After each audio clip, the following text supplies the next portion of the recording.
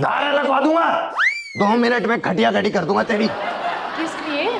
नहीं नहीं किस तो नहीं लिए? ऐसे कौन किस देगा भाई? चड्ढा जी मैं पूछ रही हूँ कि किस लिए धारा लगवा देंगे किस पे लगा देंगे?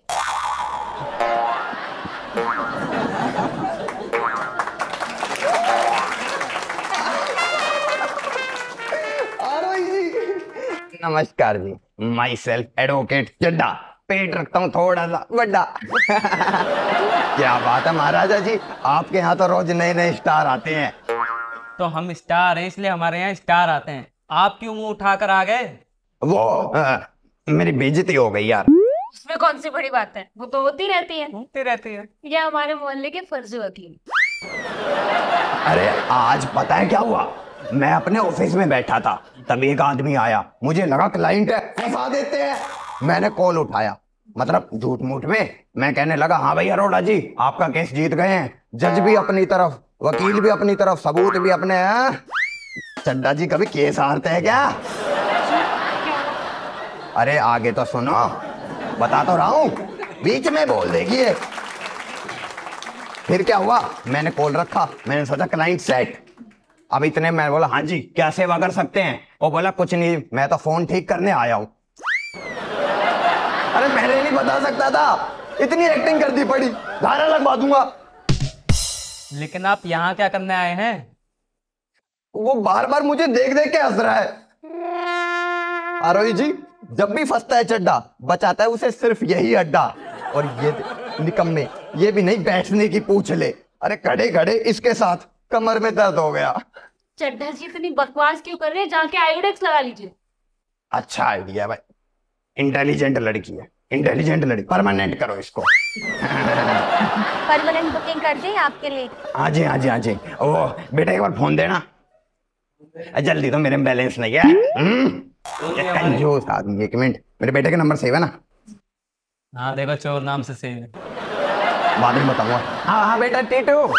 सुन शर्मा जी के यहाँ से ना आयोडेक्स लिया। क्या? नहीं देंगे? अरे क्यों नहीं देंगे? अच्छा मिश्रा जी के यहाँ से लिया। तो वो भी नहीं देंगे। वर्मा के यहाँ से लि- अच्छा वो पहली लड़ाई हो रही है अरे यार आपके यहाँ है आयोडेक्स? हमारे नहीं अरे बेटा कंजूस लोग हैं यहाँ पे। कोई दो रुपए खर्च करके राज़ी नहीं है। अरे कहाँ ले जाएँगे इतना धन? एक काम कर अपनी वाली निकाल ले अलमारी से। आज तेरा बाप आयोडेक्स लगाएगा। मतलब सुधरोगे नहीं वकील साहब। घर में है आयोडेक्स? लेकिन दुनिया में ढूंढ रहे हो। मैं आपको एक जोक सुनाता हूँ। प्रणाम जी अब आप लोग एक बात बताइए। रीता जी आप बताइए अगर कोई आर का पानी पीने वाला आदमी आपसे पानी मांगे आप उसे सादा पानी दे वो फिर आर का पानी मांगे आप फिर सादा पानी दे फिर आर का पानी मांगे फिर सादा पानी दे वो गुस्से में आपसे क्या कहेगा? क्या कहेगा? क्या कहें? क्या कहेगा? क्या हम बताते हैं। वो कहेगा मुझे चाहिए आरो ही आरो ही फनी हो गया जी बहुत फनी हो गया। हाँ जी। वैसे आरोही जी आप इंस्टाग्राम की इतनी बड़ी स्टार है। आप एक बात बताइए आपको फ़िल्टर वगैरह की भी नॉलेज है? ऐसा कोई फ़िल्टर बताइए कि ये ना पेट छुप जाए।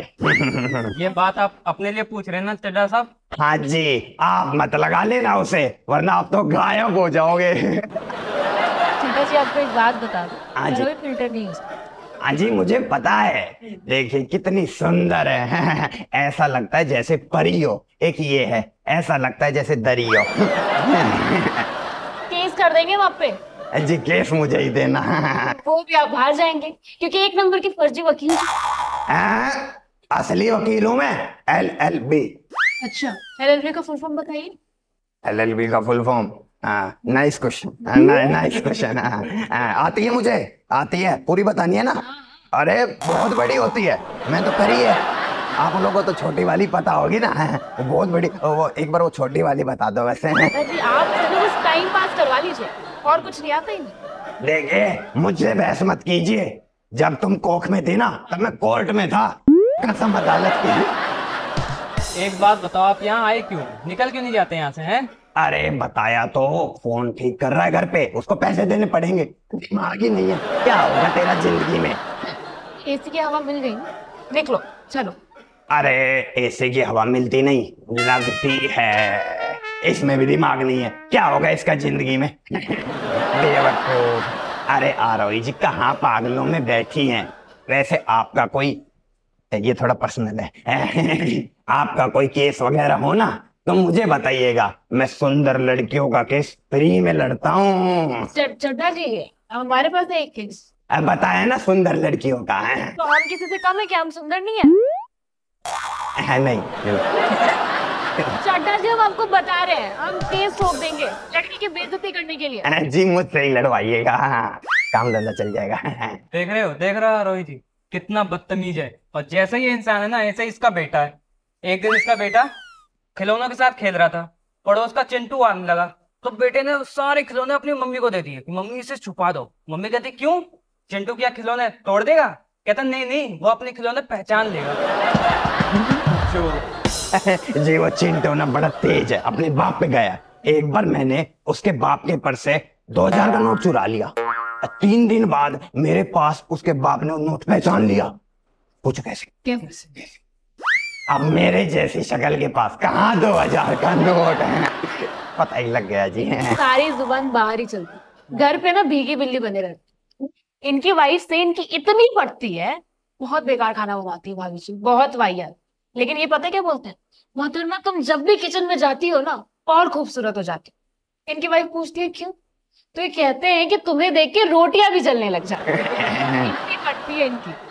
देखिए जी बीवी तो बीवी होती है, हैं? बीवी के आगे क्या कर सकते हैं? अगर वास्को डिगामा शादीशुदा होता ना तो भारत की खोज नहीं कर पाता। क्यों? जैसे घर से बाहर निकलता बीवी कहती कहाँ जा रहे हो? क्यों जा रहे हो? किसके साथ जा रहे हो? कब आओगे? मैं भी चलूँगी। बताइए। चड्डा जी फालतू की बकवास बंद करें। पहले ये बताइए कि जेल किसने गए? हाँ जेल क्यों गए थे आप? अरे यार सबको पता लग गया। वो ना वकालत ठीक ठाक नहीं चल रही ना। तो मैंने मजबूरी में एक दुकान खोली थी इसीलिए। मैं सच बताती दूसरे इंसान की दुकान इसने खोली थी वो भी हथौड़े से। अब जी इतनी रात को उसके घर चाबी मांगने जाता तो हथौड़ा तो मेरे सर पे मारता। बताइए तो मैंने हथौड़ा ताली पे मार दिया इंटेलिजेंट तो जी बचपन से हूँ। बेटा साहब आप वकील हो या चोर हैं? अरे मूर्ख इंसान आजकल चोर कौन नहीं है? बताइए कौन नहीं है? पुलिस वाले चोर हैं। पेट्रोल पंप वाले चोर मंत्री चोर संतरी चोर सरकार चोर दुकानदार चोर। मैं भी चोर बताइए हर इंसान में चोर ये तो कितना क्यूट चोर है आया है दिल चुराती हूँ ना। जी हमें पता है यहाँ तभी तो मिसिंग है।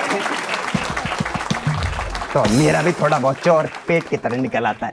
हाँ लेकिन यहाँ कुछ चोरी मत कीजिएगा बहुत एक्सपेंसिव सामान है यहाँ। पे ये भी अच्छा है पर नहीं अब ज़रूरत नहीं है अब ना मैंने जादू सीख लिया।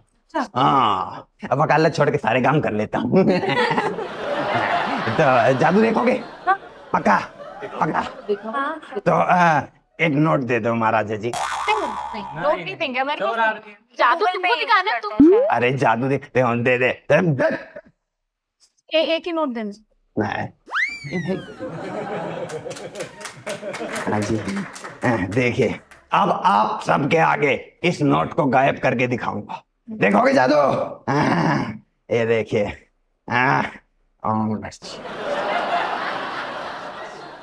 अरे यार, ऐसे तो टाइम लग रहा है। दूसरा तरीका करता हूँ।